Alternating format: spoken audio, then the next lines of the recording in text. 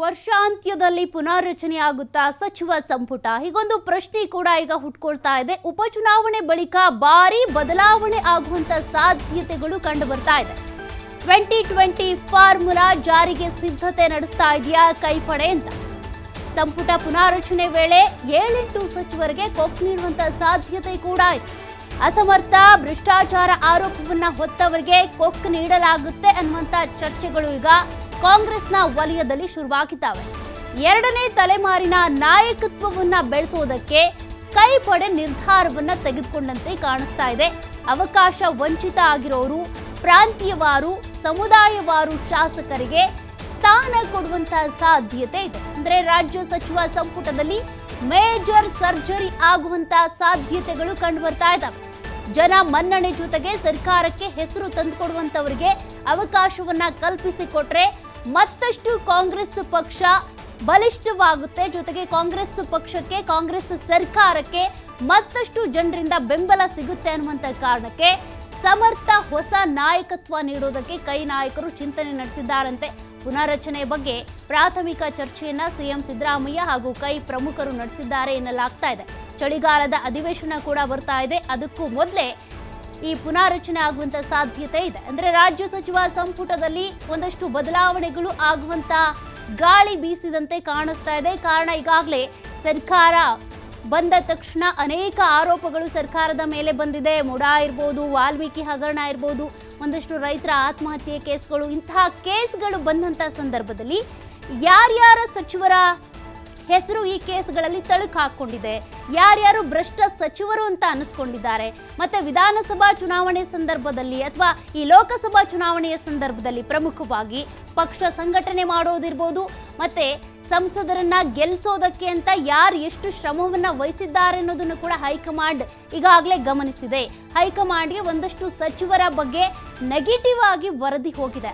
ಹಾಗಾಗಿ ಕೆಲ ಸಚಿವರನ್ನ, ಅಂದ್ರೆ ಲೋಕಸಭಾ ಚುನಾವಣಾ ಸಂದರ್ಭದಲ್ಲಿ ಅವರ ಅಭ್ಯರ್ಥಿಯನ್ನ ಗೆಲ್ಸೋದಕ್ಕಿಂತ ಯಾರು ಜಾಸ್ತಿ ಎಫರ್ಟ್ ಹಾಕಿಲ್ವೋ, ಯಾರು ಪ್ರಾಮಾಣಿಕವಾಗಿ ದಶ ದಕ್ಷ ರೀತಿಯಲ್ಲಿ ಕೆಲಸವನ್ನ ಮಾಡಿಲ್ವೋ ಅಂಥವ್ರನ್ನ ರಾಜ್ಯ ಸಚಿವ ಸಂಪುಟದಿಂದ ಹೊರಗೆ ಕಳಿಸಿ ಉತ್ತಮವಾಗಿ ಕೆಲಸ ಮಾಡಿದಂಥವ್ರನ್ನ ಪಕ್ಷ ಸಂಘಟನೆಯಲ್ಲಿ ಚೆನ್ನಾಗಿ ತೊಡ್ಕೊಂಡಂಥವ್ರನ್ನ ಹೊಸ ಮುಖವನ್ನ ತರಬೇಕು ಅನ್ನುವಂಥ ಪ್ರಯತ್ನವನ್ನ ಮಾಡ್ತಿದ್ದಾರೆ ಅನ್ನುವಂಥ ಒಂದಷ್ಟು ಸುದ್ದಿಗಳು ಓಡಾಡ್ತಾ ಇದೆ. ಅಂದರೆ ಚಳಿಗಾಲದ ಅಧಿವೇಶನ ಶುರುವಾಗೋದಕ್ಕೂ ಮುಂಚೆನೆ ರಾಜ್ಯ ಸಚಿವ ಸಂಪುಟದಲ್ಲಿ ಮೇಜರ್ ಸರ್ಜರಿ ಆಗುವಂತ ಸಾಧ್ಯತೆ ಕೂಡ ಇದೆ.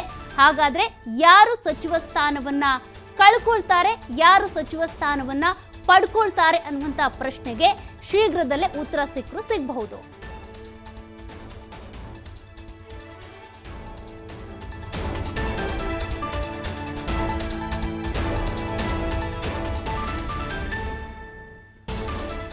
ಡೀಟೇಲ್ಸ್ ಕೊಡ್ತಾ ಹೋಗ್ತಾರೆ. ಪ್ರತಿನಿಧಿ ರಾಕೇಶ್ ಲೈವ್ ಅಲ್ಲಿ ಜಾಯಿನ್ ಆಗ್ತಿದ್ದಾರೆ. ರಾಕೇಶ್, ಈಗಾಗಲೇ ಲೋಕಸಭಾ ಚುನಾವಣೆಯ ಸಂದರ್ಭದಲ್ಲಿ ಒಂದಷ್ಟು ಮುನ್ಸೂಚನೆಗಳನ್ನ ಕೊಡಲಾಗಿತ್ತು. ಯಾರು, ಯಾವ್ಯಾವ ಸಚಿವರಿಗೆ ಏನೇನು ಜವಾಬ್ದಾರಿ ಕೊಟ್ಟಿದ್ದಾರೆ ಅನ್ನೋದು ಕೂಡ ಗೊತ್ತಿತ್ತು. ಆ ಸಚಿವರು ಸರಿಯಾಗಿ ಜವಾಬ್ದಾರಿಯನ್ನ ನಿಭಾಯಿಸಲಿಲ್ಲ ಅಂದ್ರೆ ಅಂತವರಿಗೆ ಸಚಿವ ಸ್ಥಾನದಿಂದ ಕೊಕ್ ಕೊಡ್ಲಾಗುತ್ತೆ ಅಂತ ಕೂಡ ಹೇಳಲಾಗ್ತಾ ಇತ್ತು. ಸದ್ಯಕ್ಕೀಗ ಅಂಥದ್ದೇ ಒಂದು ಸುದ್ದಿ ಹರಿದಾಡ್ತಾ ಇದೆ. ಕೆಲ ಸಚಿವರಿಗೆ ಕೊಡ್ಲಾಗುತ್ತೆ, ಹೊಸ ನಾಯಕತ್ವವನ್ನು ಕೊಡ್ತಾರೆ ಅಂತ. ಆ ಹೊಸ ಮುಖಗಳು ಯಾರಿರ್ಬೋದು, ಜೊತೆಗೆ ಯಾವ ಸಚಿವರಿಗೆ ಕೊಡೋ ಸಾಧ್ಯತೆ ಇದೆ? ಯಾವಾಗ ರಾಜ್ಯ ಸಚಿವ ಸಂಪುಟದಲ್ಲಿ ಮೇಜರ್ ಸರ್ಜರಿ ಆಗಬಹುದು ಅಂತ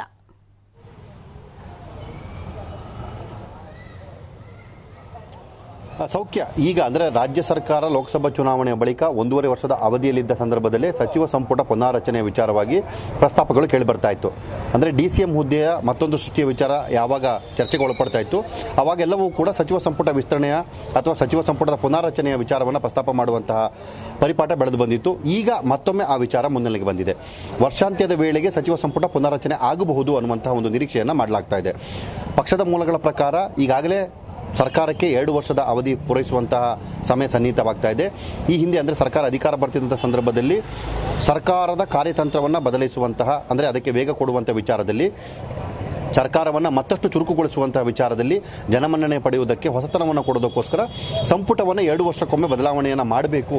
ಸಮರ್ಥರನ್ನು ಹೊರತುಪಡಿಸಿ ಸಾಧಾರಣವಾಗಿ ಕೆಲಸವನ್ನು ತೋರುವ ಅಥವಾ ತಮ್ಮ ಮಾನದಂಡವನ್ನು ರೀಚ್ ಆಗದಂತಹ ಸಚಿವರನ್ನು ಬದಲಾವಣೆ ಮಾಡಿ ಮತ್ತೊಂದಷ್ಟು ಜನ ಹೊಸಬರಿಗೆ ಅವಕಾಶವನ್ನು ಮಾಡಿಕೊಡಬೇಕು ಅನ್ನುವಂಥ ಯೋಚನೆ ಇತ್ತು.